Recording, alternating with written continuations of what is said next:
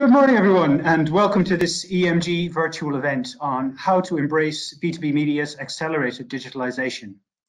My name is Robin Wires, and I'm the head of editorial here at the marketing communications firm EMG.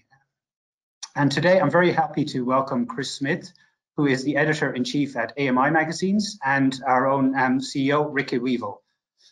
And I think it's going to be a really vibrant discussion on how B2B media is really changing and what's needed to get your message across nowadays.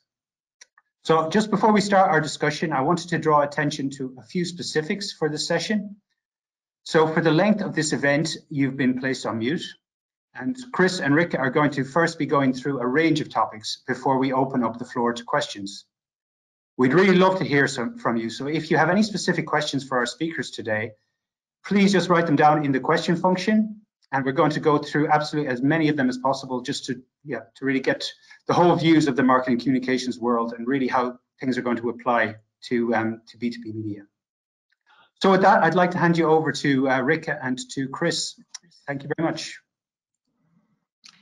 Hi everyone, I'm Rikke Wivel. I'm CEO here at uh, EMG. Uh, my background is really um, trying to help companies as fast as possible getting through their digital transformation when it comes to marketing, communications, technology, and the commercial benefits thereof. Um, and I'm really excited to be uh, joined today by Chris Smith. Um, those that do not know Chris, um, he has a long background in uh, in the trade media, especially within uh, plastics, so very industrial um, manufacturing. His um, his suite of uh, of uh, magazines uh, at AMI are born digital, and he understands very well how to get the right message in front of the right target audience. So he's the right one to talk to about uh, how um, how digital media has accelerated within B2B communication welcome very much, Chris. Maybe you can introduce yourself as well. Thank you, Matt. Thank you very much, Rikke. That's a very nice introduction. So uh, I'll just uh, I'll just briefly um, give a, a, little insight into into my background, and expanding on what you were saying there. Um, basically, I graduated in materials science. I studied polymer engineering and postgraduate level. Um, worked in the plastics industry for several years before deciding that uh, publishing was something that interested me, and uh, so I moved into the public into the publishing sector. I've been working in publishing now for 30 years, almost most of that time covering the plastics industry, but not exclusively. And I've worked for some of the leading global um, publishing companies in the in the plastics and B2B area. Um, I've also been involved in conference um, organisation and I've chaired, I lost count how many conferences I've chaired, but way more than 100 international conferences. Um, moved to AMI around about 10 years ago, um, largely, well, exclusively to work on their digital magazines. And uh, AMI had always been a company that I'd looked at because of its data uh, everybody knew that it had good data. And when they decided to launch digital magazines, that really appealed to, to, to me because I had been working for print-based companies and I had seen the struggle that they were having trying to integrate digital into their business and the opportunity to start at ground level with a purely digital magazine business was very appealing. So that's um, that's me. I now manage um, five process-specific, uh, fully digital magazines covering compounding, injection molding, pipe and profile, film and sheet extrusion, and the most recent one, uh, plastics recycling, uh, from a technology perspective. So that's me.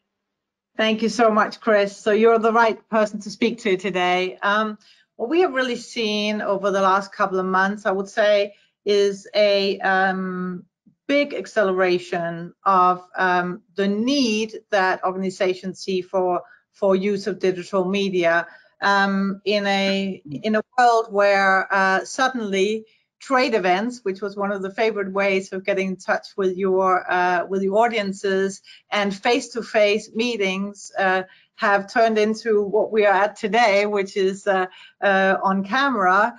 Um, suddenly, um, both sales departments and communication departments uh, have struggled to accelerate how do they actually reach uh, reach the audiences, and we have seen a big growth in in that need? How do you accelerate it? But I was wondering, uh, when in terms of your offering at your magazines and what you see from uh, the audiences, um, any growth there as well? Um, well, yes. Um, we've seen. Uh, it's always very, very, very difficult to um, assess the growth in a magazine business because obviously each magazine you know, some have a different feature profile to another. So some get more readers, some get fewer readers, just month by month anyway. But um, our perception is that there's that there has been an increase in the amount of uh, the number of people and the amount of time people are spending looking at the magazines. So that we think is uh, is certain. But obviously, for us as a business, um, you know, we were already a fully digital publishing company, and we've been doing this for 12 years now. We uh, we have something around half a million page views every month through our magazines, and we've got more than 100,000 subscribers. So um, across all five uh, magazine titles. So it's not really a situation where we think people have said, ah, I need to get my information digitally. I'll go and look for a digital magazine because a lot of people are already using our magazines anyway. Um, but yes, we have seen a, a small, uh, a, a, modest, no, let's say a modest increase in uh, in viewing. Um, I think also we we don't just have the magazines available on on the web. We have app editions as well, and it's uh, similar there. App, app, editions are more difficult to track. You would think they would be easy being digital, but the people who created the app system didn't really think about it from a publishing perspective. So they're not actually not. that difficult to track. But again, I mean, we, we've, we've had um, over 10 years we've been publishing them now, and we've got 80 approaching 80,000 downloads now for those app edition app, app that's the apps, not the magazines within them. So that, that's an awful lot of people that have downloaded it, and that continue that continues um, now, and we're seeing you know a good solid number of downloads still. So pretty much yes, We, we seen we're seeing some uptick, but we're we think that we're probably seeing less of it because we're already so digital. If you see what I mean, if you speak to somebody, if you speak to people within the more broader uh, trade media. Um, there, I think they would probably see a more of a move to digital. If they're a print-based publication, I mean, uh, when we when we started publishing, we were pretty much the only people putting digital editions of uh, onto the web. Now, exactly. most publishers, yeah, most, most publishers now, most print publishers have some form of digital edition, um, but they tend to run it more as an add-on. And I, I, guess they're probably seeing more activity um, there than we perhaps would be, particularly because this isn't anything that's just relevant to the to the plastics media. This is trade media in general. But traditionally, if you have a print publication, you send it to the company's uh, or the, the subscriber's company, so it goes to their business address. And obviously, yes. with so many companies um, shut down and people working from home, that's not really been something that's possible. Whereas an email address will go to wherever you access a server from. So it's um, yeah, I think I think probably the broader the broader trade media has probably seen a bigger move to digital than we have because we've already made the move, if you see what I mean. Yeah. And I also know you have uh, pretty uh, big webinars coming up, uh, especially in uh, in plastics. Is that correct? Uh, we're, we're, yes, we're we're well, we're doing. We are yes. For the, the benefit of people that don't know AMI, I'll just probably need to explain what our business is because it's not really very typical of a publishing company. Basically, AMI was it's now I think approaching 40 years old, but it was originally set up uh, as a consultancy company, and so we had uh, the two founders and some other people doing plastics industry consulting work and specifically focused on the processors. And so they built up a database of processor sites and people and whatever.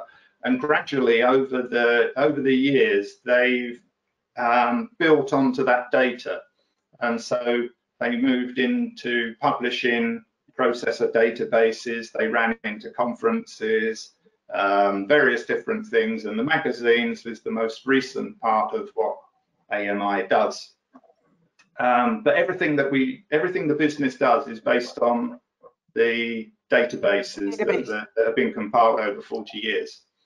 Um, with the uh, event side of our business, obviously we have been affected just like everybody else has because all of our exactly. events are face-to-face -face events.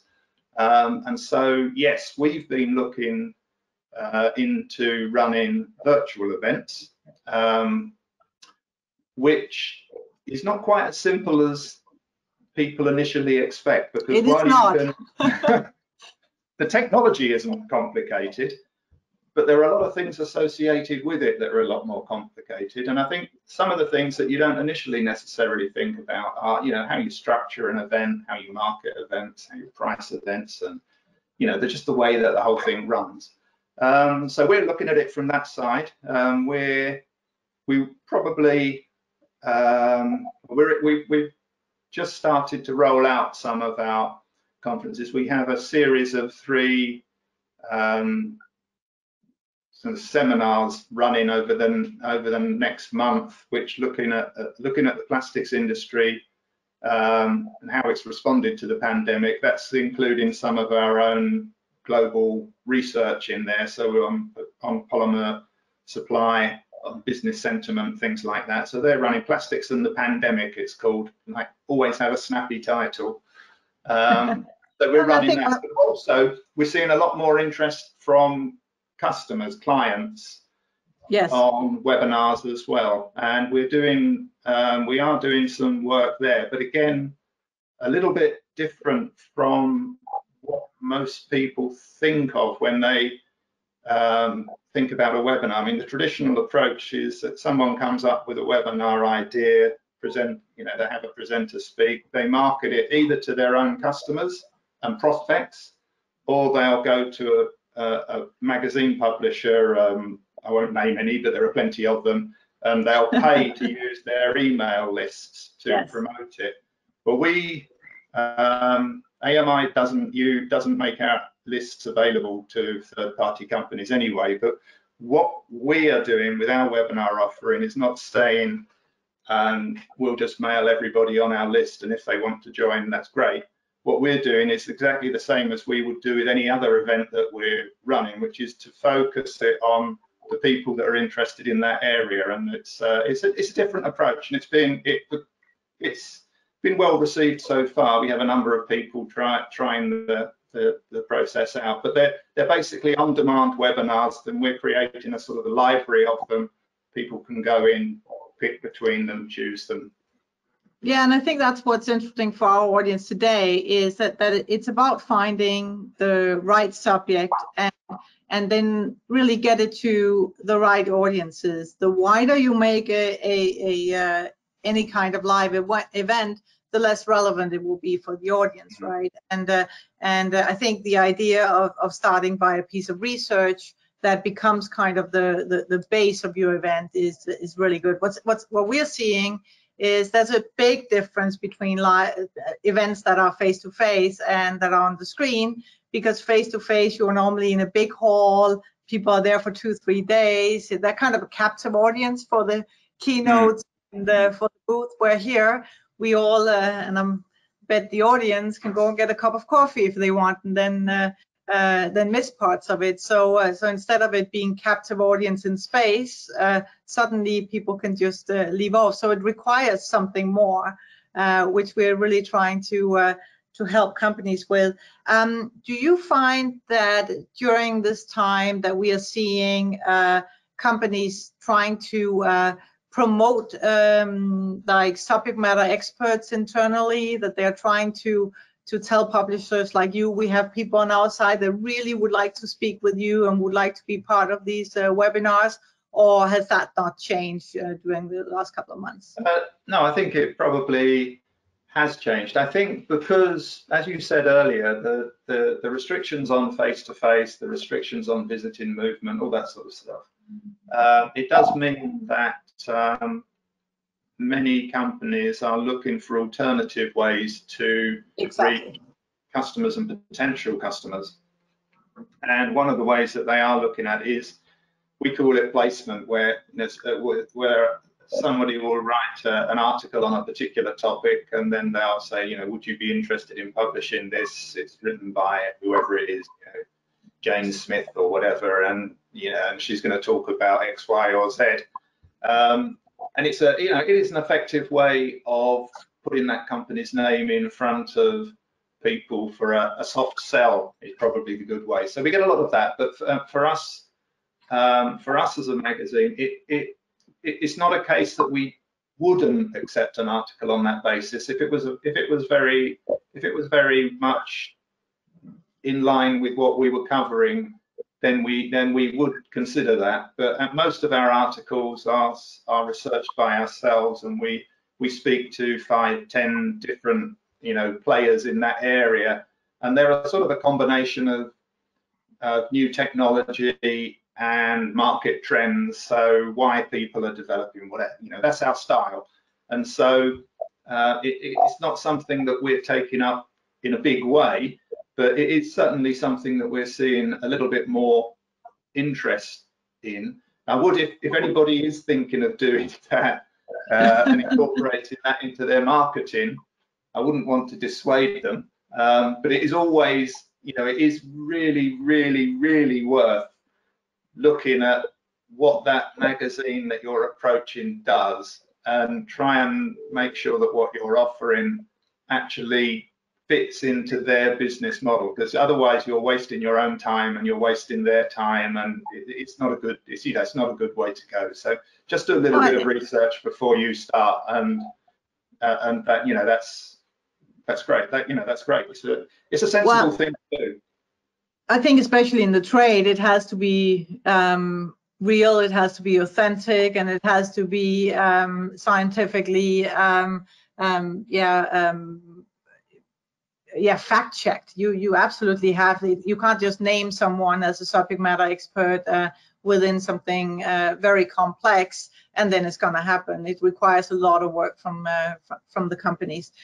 Um, I have another question for you. Uh, we have seen uh, companies being a bit hesitant in the beginning of uh, the pandemic when it comes to what messages they were to put out in the market, just because of um, the clutter that we saw in a um, in China. That was a February timeframe. Mm. Later on uh, into Europe, it was March, April. Um, have you seen the same thing that there was like a dampering of the messages coming out from, from the different organization? And has that changed now that we, at least Europe, is uh, is a little bit more under control?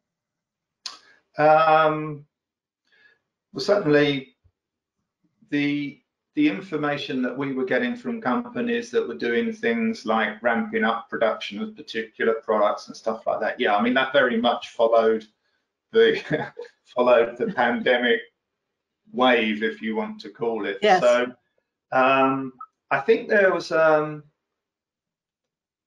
there probably was in the in the in, in, the early stages. I think there was a little bit of a probably a bit of an element of companies not wanting to look as if they were exploiting um, the situation. But I think as it became clear that the pandemic was a much bigger, um, yeah, there was much bigger scale than perhaps people initially realized. I think, I think, I think businesses were a little bit more confident at being able to say, look, we're doing this without everybody saying, ah, they're just trying to, you know, sell some more product. They want to make themselves look good, which I mean, obviously, when you promote your business, you're aiming for a positive effect. You know, that's obvious. That's, you know, you wouldn't do it otherwise.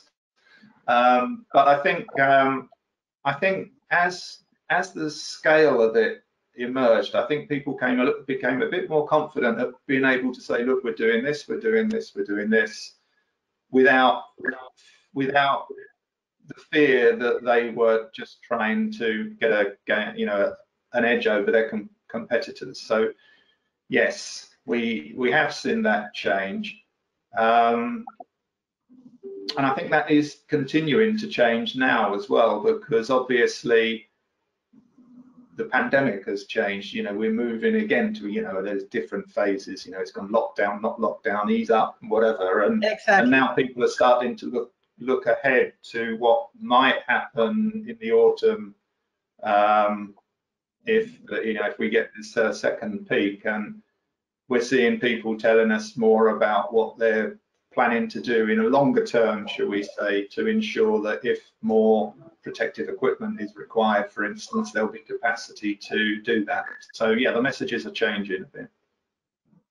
And um, so we have seen a, a change in for example a subject matter that was very um, very much in the in the industrial um, uh, messaging before the pandemic was sustainability, and uh, and then in the first couple of months of the pandemic, it died down for the same reasons that you were saying. Everybody was, uh, you know, trying to help changing their productions into uh, uh, into helping on PPE equipment or hand sanitizers um, and helping each other.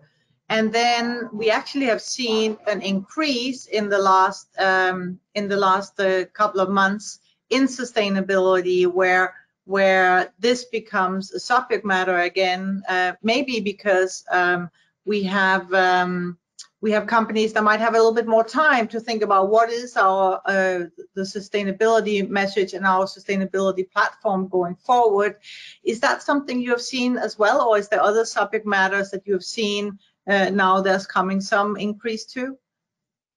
No, I think um, I mean sustainability.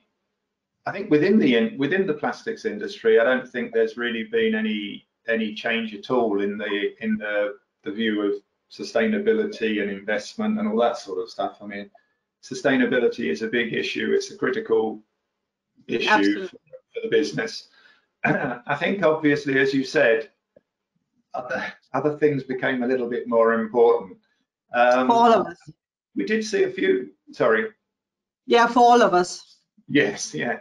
We did see a few, you know, there was there were the coverage of things like bag bans being suspended and things like that, which made quite big headlines, particularly in the sort of non-specialist, you know, in the mainstream media. But I think really those, I mean, they were just like blips brought in by convenience, should we say. Um, yeah.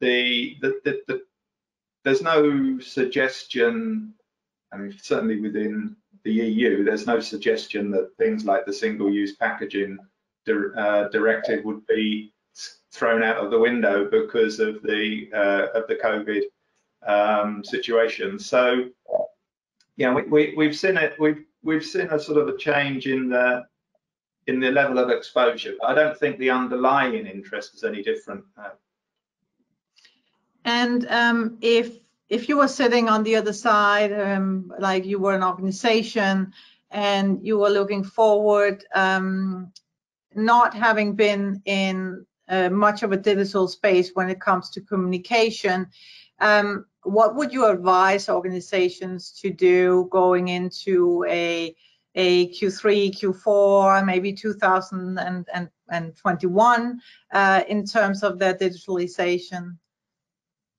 Well, I think, um, I mean, in, in this day and age, digital should be part of everybody's uh, communication strategy. Um, it's not a, it's not an easy area to work your way through. That that, that digital should certainly be part of the strategy. And I mean, in the immediate term, the opportunity for face-to-face um, meeting will will certainly be diminished. Um, um, with um, some of the major trade shows, for instance, um, you know, the bigger the the bigger the show is, the more difficult it becomes to manage social distancing and that sort of thing.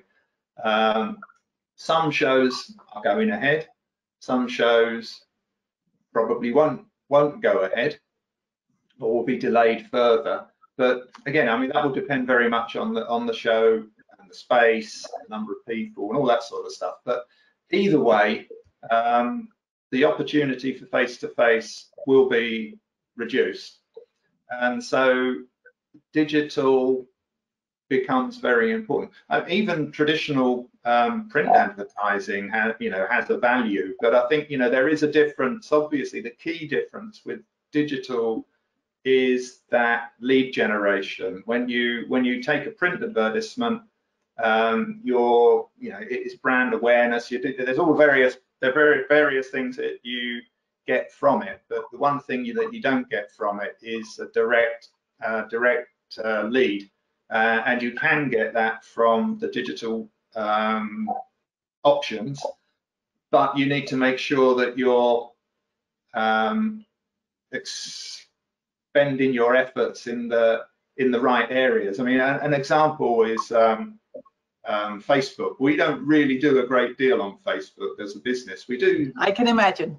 We do some. We do some stuff on Facebook, but you know, there's there's a billion plus people that use Facebook on a regular basis, and um, our estimates, you know, as, as a business, we think there's probably globally there's probably less than 250,000 plastics processing sites. So 250,000 out of a billion.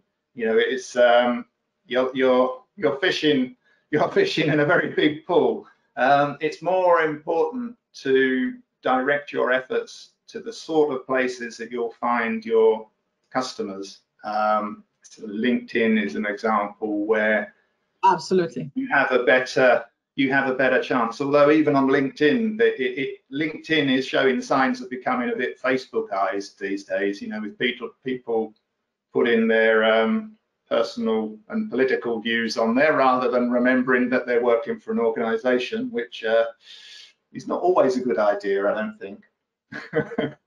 no, and we, we see it more and more, right, that the, that, that the, the ask right now of uh, organizations from to their to their sales departments and also to their their communication departments is how do you link the two how do you link your marketing communication efforts, your content marketing efforts, and how do you see what leads come out at in the other end? Which is why, um, yeah, we're talking to you today as well, Chris, because we're very much uh, helping companies to make sure that they reach the right audience, not the billion on the on the, on Facebook, but how do you actually identify the people that would be easier to identify in a trade show, right? Because they're walking around the hall. Now you have to identify them in a in in in a in yeah. a site place in yeah. a virtual place. So so uh, that's a challenge for some organizations. Yeah. Also seeing some organizations that have done a lot of work on it in the last couple of years that are really um, really winning that game. So uh, that's we, use, um, we use LinkedIn and we use Twitter. Yes. And the two are completely different in the the way they work and the sort of profile that that you get. I mean, we we um yeah, they're, they're very different. Uh, LinkedIn, I think there's a there's a there's a challenge in using LinkedIn as a corporate marketing tool because LinkedIn was really built as a career development concept, and it's about individuals um, further in their career, finding new jobs and things like that. That was what it was originally set up for. And we, we use it from a, co a corporate perspective. Um, we have a, an AMI LinkedIn um, yes.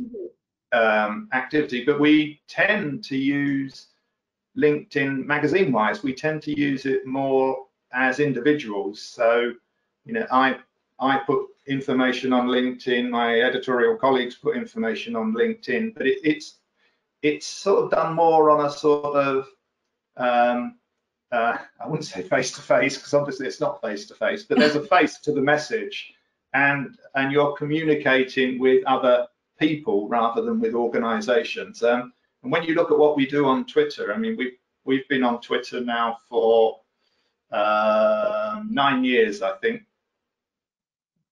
Maybe no, 11 years. Sorry, 11 years. 11 years on Twitter, and we are with with we're the most followed plastics sort of news site. But when I when you analyze the followers, we have a very, very high proportion of people who follow us only because of our coverage of things to do with recyclability, environment. So you'd say mainstream people, some of which are very hostile to plastics actually, but they still follow us um, just because they want to know what's going on. But two very different profiles. And on, on Twitter, uh, we, we use the handle Plastics World, but on, on Twitter, we're sort of invisible as people, if you see what I'm, you know, we're just a, we're just a handle. Um, yes. uh, whereas on LinkedIn, we're people, if you see what, if you see the Yes, I, I completely see what, what, what you mean. What we have seen though is that in the last couple of months because people are behind the screens, often at home.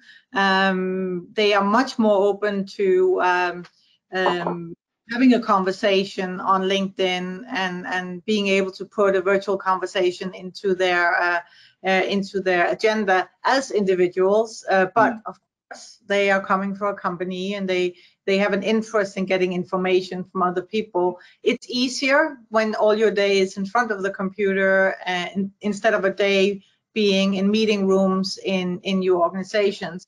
We're also seeing uh, Twitter still uh, still going strong, especially in some countries. And if I may make a little uh, look over to uh, to Asia, WeChat um, organizations has has really boomed in the last couple of months and taken the place of some of the major uh, uh, major trade shows in China. So that's a that's an interesting development mm. uh, to follow. So for us, I think it's not one or the other it is you need to go where your audiences um, are and you need to go and be able to identify those audiences what, which is what you are seeing on on, on twitter even if uh, it might be uh, people that are not well, necessarily positive.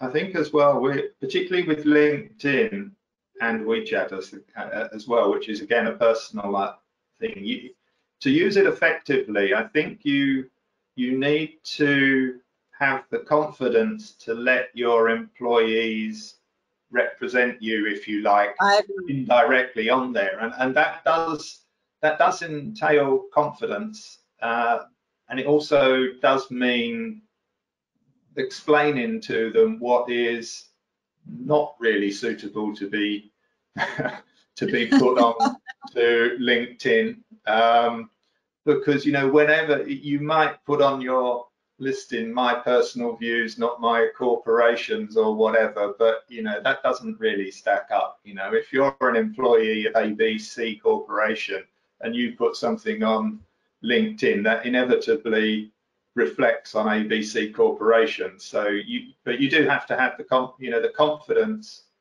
in your employees to allow them to to effectively use LinkedIn. I think. But also help them how to do it. Hmm. Um, uh, not everybody understands what can be seen, what can't be seen. So, and and we have definitely seen that a lot. Sorry. I think I think on the web it's best to assume that everything can be seen. I, you should always assume things can be on a, on the front page somewhere, right? I think so. So uh, looking into the crystal ball, um, we we're looking at uh, talking to organizations that are saying, let's see if trade shows come back. Let's see if uh, if we go back to normal or uh, whatever you want to call it. But um, looking at trade shows, maybe nine months from now, um, what do you think they will look like? You were talking about the big ones might not happen, the smaller ones might be uh, more um, uh, more possible to happen, but do you think they'll be in the same shape as before? That's a, uh, that's a very difficult one to to um, that's a very difficult one to answer. I mean, obviously, I'm going to come back and, said, uh, and, hang you on it. So. as I, I mean, we organise trade shows as well, so you know we have a vested interest. Uh, um, in in them being successful. We get a, get a lot of news from trade shows. We do a lot of business at trade shows. You know, we we um, whether it's whether it's the small focus type things that we have been running or the big events like the K Plastics Fair that takes place in Germany, you know, I mean, whether it's the 5,000 attendee events or the quarter of a million attendee events, you know, they're all important to the way that people do business. And I, I think that although, you know, you can have a, you know, there will virtual, virtual is going to be with us um, you know, it's going to stay with us. The, the new normal will be normal, but it won't be like the old normal. it will just be the new normal. Um, we'll have, um, I think we'll have, we'll still have trade shows. Um, and the, the more, as I said, the bigger they are, the more difficult it is to handle. But one, you know, you know, we don't really know what will happen with the pandemic, whether there'll be, uh, you know, vaccines, effective vaccines found, whatever. It's difficult to predict, but I think, you know, the, the whole air, the whole focus is on whether you can maintain acceptable distancing, and if that can be achieved, I think probably in the shorter term, you know, it's going to feel very, very strange to go to these events. But then it go, it feels strange to go to a shop with a face mask on, you know, uh, and yet it's becoming normal now. So uh, new normal. So, so yeah, I think I, I think trade shows will will um, run. Some will, some won't. Some will be delayed again. Some will be different. Uh, it will just be adapting to the to the circumstances. And at the end of the day, I guess the the authorities in the particular area that the show is going to be run will take the decision on whether or not acceptable uh, measures are put in place, and then it will be down to the uh, visitors. I mean, there, there there is obviously you have to persuade visitors that the processes are in in place as well, and you know, yes. will I think that again becomes an issue of the more you're expecting to be there, the more you're going to wonder whether it's a smart move. You know, if it's a small show, it's a conference. If it's a quarter of a million people all in one city, then it might be a little bit different. So might take longer before we're there. Do you think um, so? Do you think that we're going to have kind of hybrid trade shows where some people will, because of distance or rules, some people will be able to travel in, other people's will, or other people will be able to look at it from home, for example, to the keynote sessions or set up virtual meetings with uh, with companies? Do you think that will be a model? Um, it, well, it it could be. I, I think if I think the thing that is it it will probably be a new model. Um, it will probably be a new thing. I don't, I don't think. I mean, you know, taking something like the K Fair, for instance, I, I don't think you could take the K Fair and turn that into a virtual fair and get the same result. You know, you, you could turn it in, you could take parts of it and do something differently. You could bolt parts of it on to the fair. So, I mean, at the moment, the, the, the really big trade shows are very much an, a, a, a sort of a you turn up, you've got your little list of companies that you want to see. You maybe made a few appointments and you walk around and whatever. You can you can see perhaps a more tighter integration of of virtual into that real um, environment. But I think it will be more of a it will be more of an an add-on to the event rather than a separate uh, a separate event. I think, and you'll probably see that across everything from conferences, right the way through smaller shows, right up to bigger shows, you'll just see one of the things that one of the things that will come out of the current situation is that with more people doing what we're doing now, uh, communicating over the over the web, it will be more familiar. Um, people will will not think it's strange. I, I mean, I, I, know that when we've looked at virtual events in the past, the the whole thing is um, oh, I don't really know if I want to do that. I mean, it, it was the same when we when we launched our digital magazines. Although exactly. there were a lot of people that were quite happy to go digital. I mean, one of the things that we heard so often was people would say, I don't really like these digital magazines. I prefer a print one, but I do realise it's the way it's going. And there was that sort of reluctance. But of course, once it's effectively been forced upon you, you get the familiarity with it, and you know people won't sort of say, "Well, I can travel now, so I'm going to throw away my laptop. I Won't need my webcam anymore." You know that that's not that's not going to happen. Uh, no, that's not the reality. Now, I think we we we see this acceleration in user adoption, right? That uh, that things that would maybe have been co felt complex before now seems uh, um, pretty normal and and easy to do, um, depending on uh, no matter where you are actually. Um, I was wondering, Robin, do we have any questions from uh, the audience? We do indeed. Uh, plenty of questions coming in. Um, so I think maybe one, just because um, Chris spoke about this issue quite a bit himself, I think maybe Rikke could answer this one. Um, it's a question from Marie. She asks, um, how do you see the future of events like international trade fairs? And do you think that to a certain extent they could be replaced by digital events or webinars?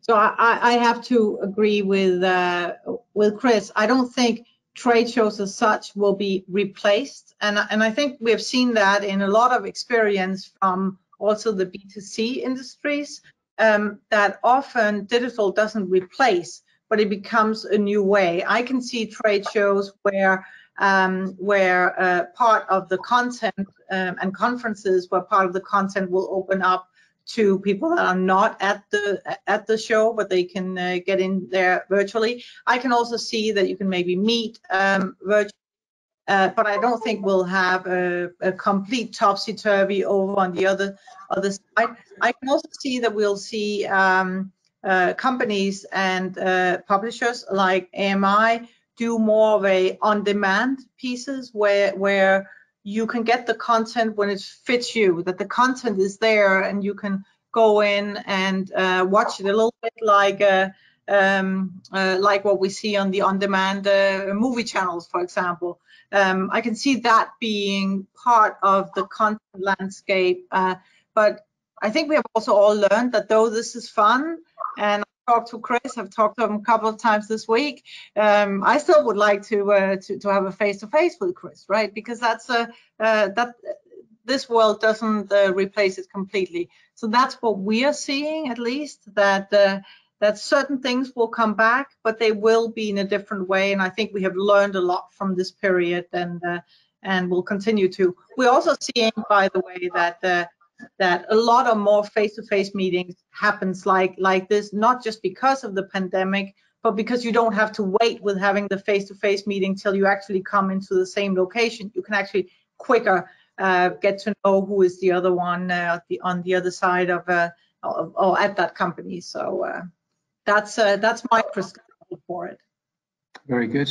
And um, Brigitte actually raises an interesting point here as a follow-up question, which I think maybe both of you could answer. And it's, uh, will companies really shy away from trade show participation or a visit because it takes up a lot of cost, I guess, together with the, uh, the risks involved? What about the cost issue and the return on investment?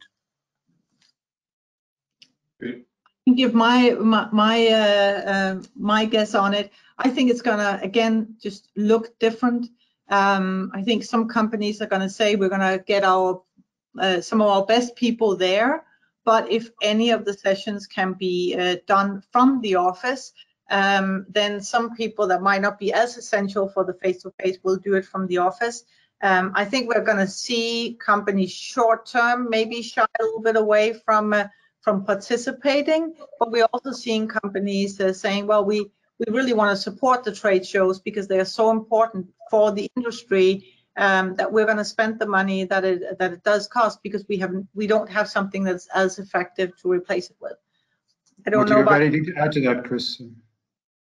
Um, not really. No, not really. I mean, I, I think trade shows are very important. They, as we, you know, we spoke, we spoke, uh, I spoke earlier about, you know, the the like the print display ad which doesn't give leads and the digital one that does give leads. You know trade shows are the same are very similar in that they deliver a value that you can't necessarily get by other means. And so i think people will want to in, in keep that integrated within their business. I think what we've seen probably over you know the time that I let's just put it the, the long time that I've been in this uh, in in this business is it, we've just seen more and more and more options become available to people to connect with customers. So um, I, I, don't really think that trade shows will be abandoned because of cost. Although you know experience has shown that through every recession, and obviously this is a different recession from previous ones that any of us have experienced, but through every recession, people come back with slightly different budget plans and may, you know, they may need to look at smaller budgets, but you know, sometimes those smaller budgets become more focused budgets and um, you know, so it, it, it's sometimes people can actually you know win out of the, that, that, situation if they're offering something that's better value. Um, I don't know. You know, it's, it's, it, who can? it, it is difficult to predict, but I don't, I, would be very, very surprised if trade shows disappeared. What about from a journalistic standpoint, though? Would you, as a, what you, what are your expectations about journalists returning to trade shows? I mean, is it still really the, the key? Is it, is it worth the risk from from that perspective? Uh, um, you know, is it worth the risk? Uh, hopefully, if a journalist goes to a trade show, they're not putting their life on the line or anything. You know, uh, you know, I don't think we, we you know, we, we, would put ourselves as any braver than anybody else in that respect. Um, I think that trade shows, though, for a for a business such as ours, they're a very very efficient way of us meeting people that we need to have some form of relationship with if we're going to do our job. So they're they're very efficient, they're very effective. Um, in two or three days, we can make and renew contacts with people that um, would take um, you know weeks and weeks otherwise. Um, and we can update on what's going on. We get lots of material, so there's a big attraction for us to to be at um, trade shows. And obviously, there are our colleagues on the uh, the other side of the fence, should we say, who sell advertising and all the other sorts of things, they're highly valuable to them as well. So, yeah, I mean, we've got a good reason to be there, and we would probably still be there, and we would just be like everybody else. We would just assess whether we think it's uh, suitable measures have been put in place. Very good. Add something to that, uh, Robin. I mean, what we're also seeing is both on the journalist side and uh, from the organization's side, uh, the virtual press briefings work really, really well um, right now, um, especially for product launches, to be able to actually explain in a form like this what the products do. But we also know that for certain products, you need to, to actually see it in person. And we also spoke about that, uh, uh, Chris. Um, and, uh, and, and therefore, I think you'll see again a hybrid where some briefings will be happening virtually, maybe before show, and then uh, a more in-depth discussion with journalists uh, at a trade show um, um, as they start coming back. I think, I think one of the just to add to that, one of the one of the challenges that, are, and this is the same if you're dealing with journalists or if you're dealing with customers or whatever, is that um, if you arrange a face-to-face -face meeting with somebody, if you go to their premises or whatever, um, you've arranged 35, 40 minutes of their time and you have 35 or 40 minutes of their time. But when you arrange something virtually, you may think you've got 30 minutes of their time, but may, they may never join you. Uh, or they get a telephone call in the middle of it or an email or whatever and they've gone. Um, I mean, the, the, the, the, bit of advice someone gave me about anything virtual and digital is that you should always remember that anything else is one mouse click away. So yes. it's very easy to lose people. So that You need to take that into account. It raises an interesting question here from Laura, I think, to, to follow up on that, uh, Chris. It's um, how do you choose then to find the right audience when you're going to organize a webinar? So I guess, how do you ensure that this one is more likely to be engaged? So how do you choose the audience? Or how yeah, how do you choose the right audience when you're organizing a webinar?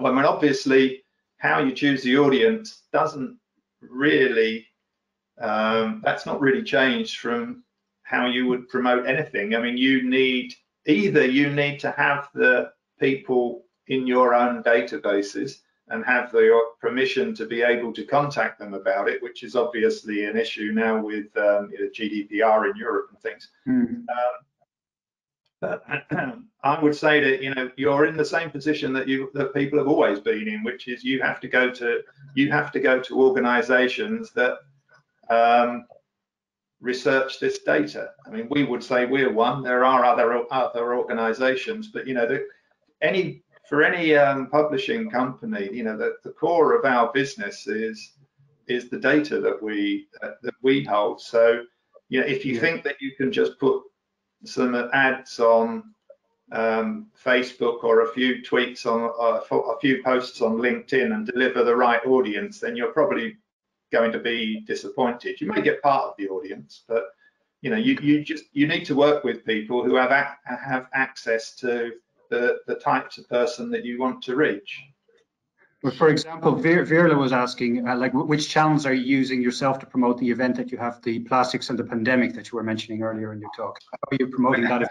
It's a that's a good one. We're using predominantly the biggest uh, the biggest number of people that will uh, that will register, and it's, it's been it's going very well at the moment. But the, the, the biggest number are coming from our own direct emails, from our own databases. But we're also using LinkedIn. Um, we're using um, Twitter. We're promoting in our magazines.